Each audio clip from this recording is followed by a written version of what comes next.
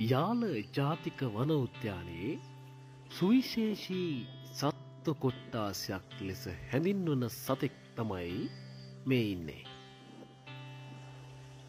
මෙයාගේ නම නම් කොටියා. පැන්තරා පාඩුස් කොටියා කියලත් කියනවා. ගොඩක් අය මෙයාට දිවිය කියලත් කියනවා. නමුත් ඒ නම නම් වැරදිී. ගොඩ දෙනෙක් හිතාගෙන ඉන්නේ දිවිය කියන්නේ මෙයාට කියලා. මෙයා කොටියා. මෙයා මාංශ භක්ෂක සතෙක්.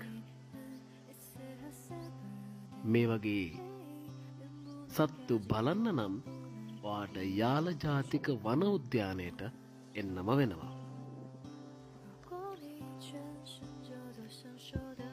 අපි මෙම ස්ථානයට පැමිණෙන විට මෙයා හොඳට බඩ පුරවගෙන පාරමැද වාඩලා තමයි හිටිය.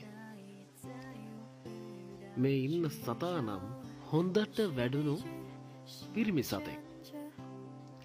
සම ටෝනි රස්ති පැහැති වර්ණයෙන් යුක්ත නිසා මෙයා ඉතාමත් අලංකාරයි. කොහොමද ඉන්න අපූරුව? මේ සතා බලන්න ලෝකෙ බොහෝ රටවල් වලින් ලංකාවට එනවා.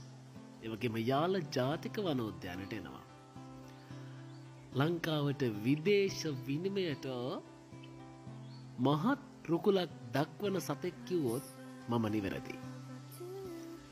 ඉතින් මේ දවස්වල නම් යාල ජාතික වනෝද්‍යානයේ බහුල වශයෙන් දැකගන්න මෙයාලා අපිට පුළුවන්. ආරාධන කරනව එහෙනම් ඔයාලටත් මේ වගේ ලස්සන වනජීවී නරඹන්න යාල ජාතික වන උද්‍යානයට එන්න කියලා. ඉතිං එයා එහෙමම එන්දී තවත් අයට බලන්නත් අවස්ථාවක් දීලා අපි එතනින් නික්මුණා.